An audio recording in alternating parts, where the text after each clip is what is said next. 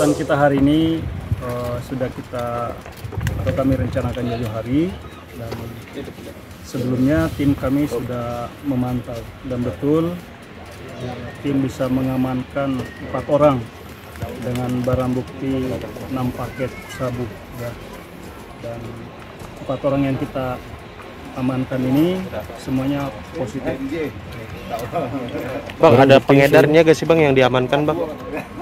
Sementara kita belum tahu posisinya mereka sebagai apa yang jelas pada saat kami melakukan penegakan hukum di sini eh, mereka kami temukan sementara menggunakan Kasat, ini kan kalau dilihat dari tempat di kampung Boncos ini kan bedeng-bedeng di sekitar sini kan sudah beberapa kali dihancurkan ya.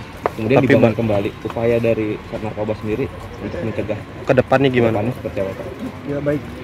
Eh, jadi untuk ke depan di daerah ini kami akan mendirikan pos ya seperti di Kampung Ambon ada pos polisi di sana dan nanti akan bekerja 24 jam juga. Untuk posnya sendiri ada di sebelah barat dan sementara proses pembangunan. Ya. Jadi nanti sini ada pos yang memang memantau 24 jam. Anggota kami juga nanti standby di sini. Eh, Anggota Narkoba Polda juga ada. Jadi kami bisa mengawasi 24 jam nantinya dan semoga ke depan eh, kami bisa bekerja sama dengan masyarakat sekitar sehingga para pelaku ataupun pengedar secara perlahan bisa hilang dari daerah ini. barang bukti barang bukti tadi berapa Barang bukti tadi ada 6 6 paket kecil ya. untuk beratnya sendiri belum diketahui Eh, sementara untuk beratnya kita belum ketahui. itu disembunyikan di mana saja sih pak tadi pak Tadi sebenarnya tidak disembunyikan mereka terang-terangan menggunakan. Jadi paket-paket itu ya mereka memang siapkan untuk pemakai. Di, di di lokasi bedeng yang tadi apa ya? Ya, betul. Di lapak-lapak yang masih tersisa dan untuk lapak itu nanti kami akan bongkar. Bang, tadi ada sempat beberapa orang yang sempat kabur ya?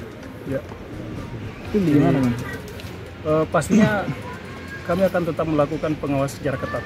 Ya, jadi kegiatan kami tidak berhenti sampai di sini saja.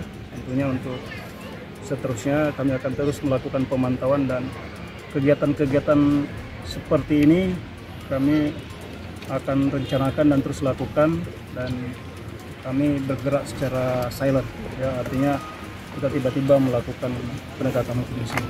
untuk barang bukti lainnya yang ditemukan apa saja bang Ada Sementara peralatan, ya peralatan bomnya, peralatan-peralatan yang digunakan untuk menggunakan sabu dan tentunya barang buktinya sendiri nampak. Cep.